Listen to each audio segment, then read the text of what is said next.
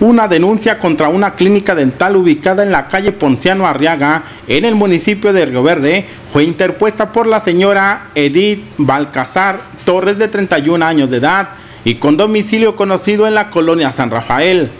La señora manifestó ante el Ministerio Público que desde el mes de octubre del 2013 acudió con su menor de 3 años de edad a la clínica para su atención médica.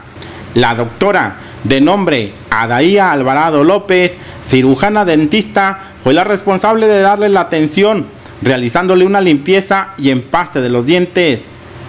Mencionó la madre de la menor en su denuncia que al poco tiempo su hija empezó a tener malestares en su boca, por lo que la llevó de nueva cuenta a la clínica por segunda y tercera vez.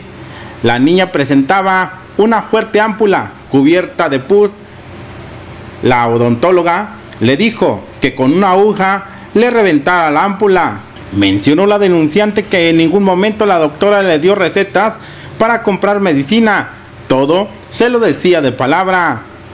La menor cada día comenzó a empeorar, por lo que la llevó a otra clínica donde le dijeron que lo que había hecho la doctora estaba incorrecto para la edad de la niña. Edith Balcázar acudió con la doctora que había atendido a su pequeña para pedirle que le ayudara con las curaciones, dándole hasta el momento solo la cantidad de 100 pesos, motivo por lo cual decidió interponer su denuncia penal.